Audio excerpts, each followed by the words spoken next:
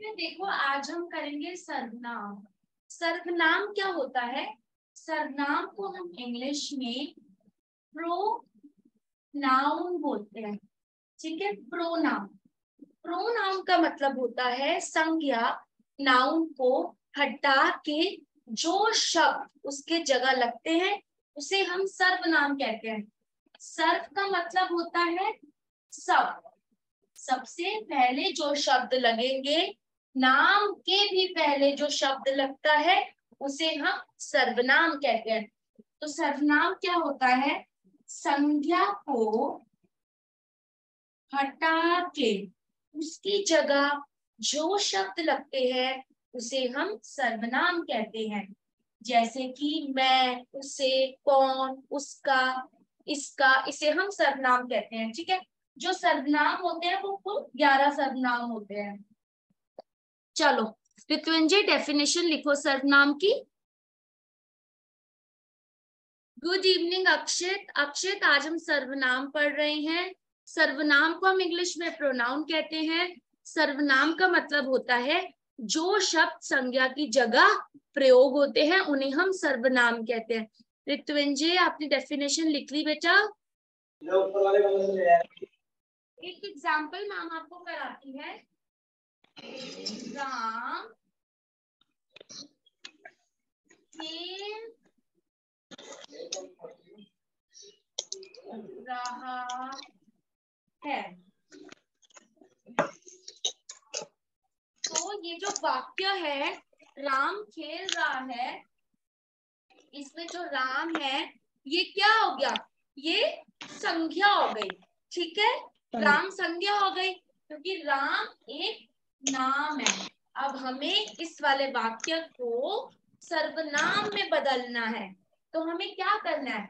हमें संज्ञा को हटा के उस शब्द का उपयोग करना है। जिस शब्द को हम सर्वनाम के लाएँगे तो हम बोल सकते हैं, वह खेल रहा है या वो खेल रहा है तो ये क्या हो गया? ये हमारा सर्वनाम हो गया। ठीक है? सेंटेंस देखो। सीता, खाना, खा, रही है। ओके? तो इसमें सीता क्या हो गई आपकी? बताओ बेटा। मैम, सीता। सीता। सीता क्या हो गई? सीता संज्ञा हुई क्रिया है या सर्वनाम है? संज्ञा। संज्ञा। अब हमें इसको सर्वनाम में बदलना है। तो हम क्या करेंगे? मैम वह वेरी गुड तो हमें सीता की जगह वह करना है। तो ये क्या हो गया? ये हमारा सर्वनाम हो गया। ठीक है बेटा? चलो, अब मैं आपको कुछ उदाहरण बताती हूँ। आप इसमें से पहचानेंगे कि सर्वनाम कौन सा है। उदाहरण। उदाहरण का क्या मतलब होता है? उदाहरण का मतलब होता है एग्ज़ाम्पल ठीक है? उदाहरण का मतलब होता है एग्ज़ाम्पल मैं आपको एग्ज़ाम्पल दे रही हूँ। अब आप मुझे बताओगे इसमें से सर्वनाम क्या है?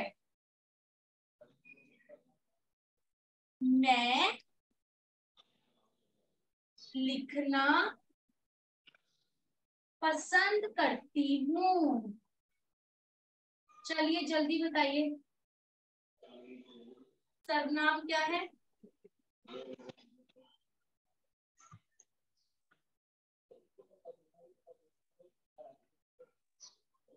वाक्य पढ़िए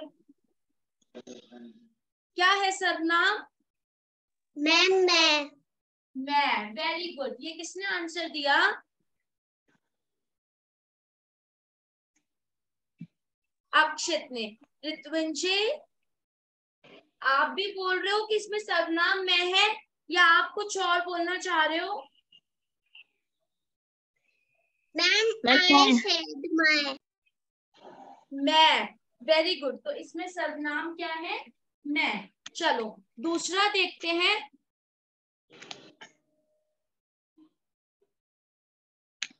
मुझे खेलना बहुत पसंद है।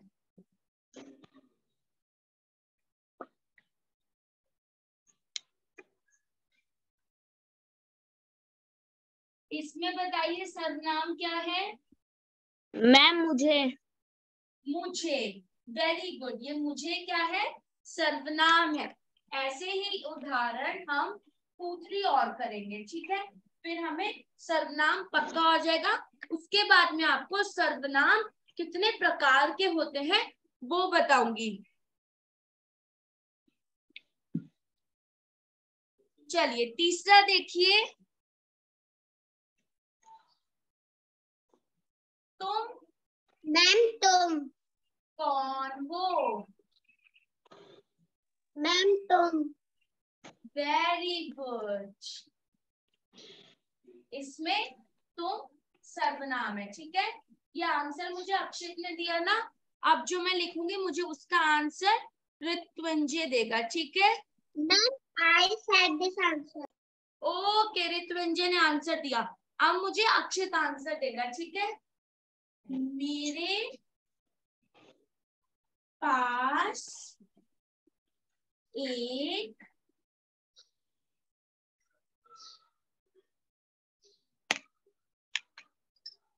किताब है। इसमें से बताओ बेटा क्या होते हैं? मैम मेरे।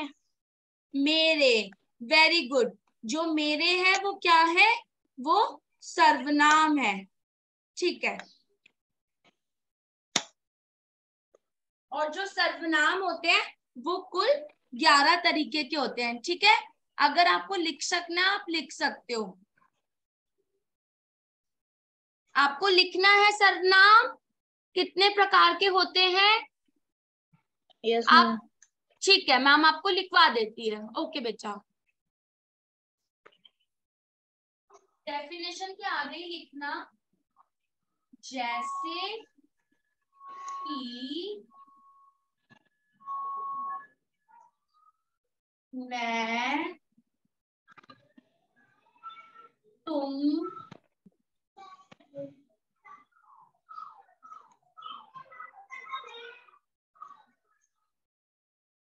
आप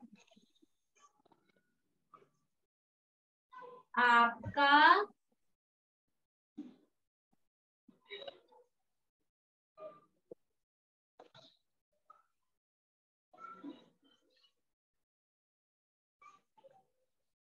इस उस यह वह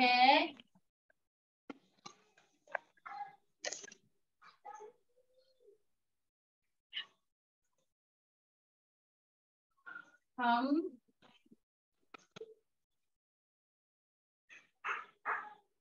हमारा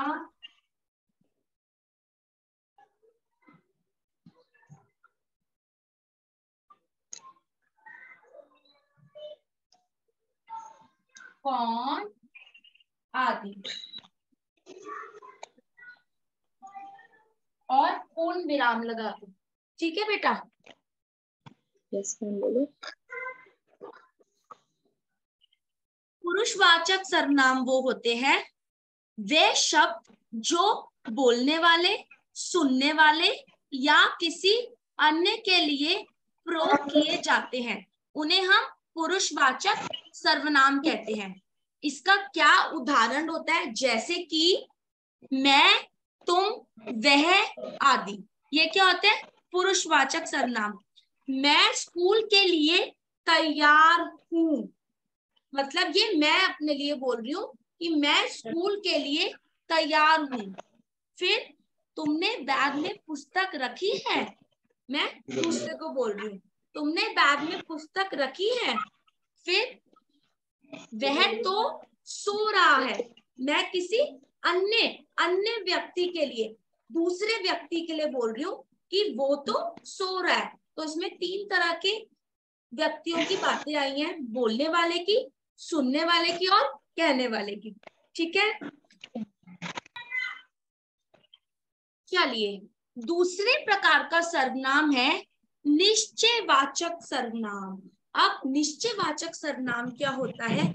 वो शब्द जो किसी वस्तु या व्यक्ति की तरफ़ संकेत करते हैं, उन्हें हम निश्चयवाचक सर्वनाम कहते हैं।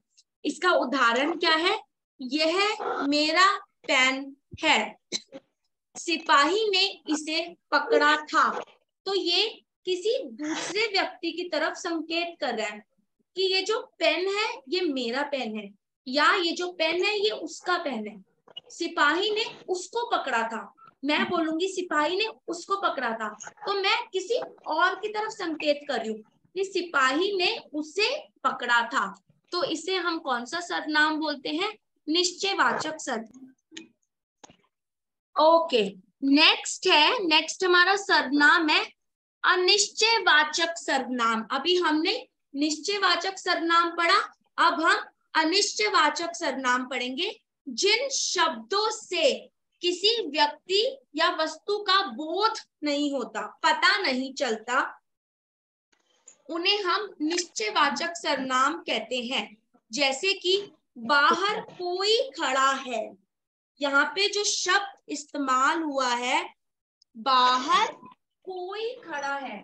तो ये जो कोई है हमें नहीं पता कि बाहर कौन खड़ा है। तो हमने यहाँ शब्द इस्तेमाल करा बाहर कोई खड़ा है। ठीक है? दूसरा वाक्य है आप कुछ कह रहे क्या आपने कुछ कहा? आप कुछ कह रहे ये नहीं पता कि क्या बोला है। बस बोलने वाले ने पूछा है क्या आप कुछ कह रहे? इसे हम अनिश्चयवाचक। ओके फिर चौथा सर्वनाम है प्रश्नवाचक सर्वनाम प्रश्नवाचक सर्वनाम क्या होता है? जिन शब्दों का प्रयोग हम कुछ पूछने के लिए या कोई प्रश्न पूछने के लिए करते हैं, उन्हें प्रश्नवाचक सर्वनाम कहते हैं। मंदिर में कौन मिला था? ये चॉकलेट किसकी है? ठीक है? प्रश्नवाचक सर्वनाम प्रश्न का क्या मतलब होता है? प्रश्न का मतलब होता है जब हम किसी से कुछ पूछते हैं। और प्रश्न का सिंबल क्या होता है? साइन क्या होता है? ये होता है ना? यस मैम इसे हम प्रश्न का साइन बोलते हैं। ठीक है? तो हमने पूछा किसी से कि मंदिर में कौन मिला था? तो जब हमारा सेंटेंस कंप्लीट हो जाएगा जैसे मंदिर में कौन? था तो जैसे कि प्रश्न प्रश्नवाचक सरनाम है तो हम आगे प्रश्न का साइन लगा देंगे। ठीक है? देख सकते हैं आप लोग? यस मैम वेरी गुड ये मैंने प्रश्न का साइन फिर पांचवा आता है संबंधवाचक सर्वनाम। अब पहले नाम से ही पता लग रहा है कि संबंधवाचक। संबंध का क्या मतलब होता है? किसी से संबंध बनाना। मतलब किसी से हमारा रिश्ता होना या किसी से हमारा कोई रिलेशन होना। कोई हमारा फ्रेंड है, हमारी मम्मी पापा है या हमारी, हम किसी से बात करते हुए एक से एक से या दूसरे से हम बात करते हुए संबंध बना रहे हैं। संबंध वाचक सर्वनाम। जैसे जो करेगा, वो भरेगा। जो करेगा वो भरेगा चाहे वो अच्छा करे या वो बुरा करे। ठीक है बेटा? यहाँ तक कोई प्रॉब्लम नो मैम जिसने ध्यान से नहीं पढ़ा उसे समझ नहीं आएगा। तो जिसने और उसे यहाँ पे संबंध वाचक है। संबंध बन रहा है ना? जिसने ध्यान से नहीं पढ़ा उसे समझ नहीं आएगा। मतलब एक दूसरे के लिए बोल रहा है कि अगर तुमने ध्यान से नहीं पढ़ा तो तुम्हें समझ नहीं आएगा। तो ये क्या हो गए? संबंध वाचक हो गए। वाचक सर्वनाम क्या होते हैं? अपने लिए प्रयोग किए जाने वाले शब्द को हम निजवाचक सरनाम कहते हैं। जैसे कि, आप जाइए, मैं स्वयं कर लूँगी। अब यहाँ पे ये जो वर्ड इस्तेमाल हुआ है, स्वयं इसका क्या मतलब होता है? मैं खुद कर लूँगी ये एक हिंदी वर्ड है ना, स्वयं। इसका मतलब होता है, मैं खुद कर लूँगी। आप जाइए, मैं स्वयं कर लूँगी, मैं अपने आप कर लूँगी। अपना काम अपने आप करना चाहिए। जो अपना काम है, वो अपने आप करना चाहिए। तो ये अपने लिए संबोधित हो रहा है, ठीक है? इसमें इंसान खुद का बोध करता है, खुद के लिए बोलता है। तो इसे क्या बोलते हैं हम? निजवाचक सर्वनाम।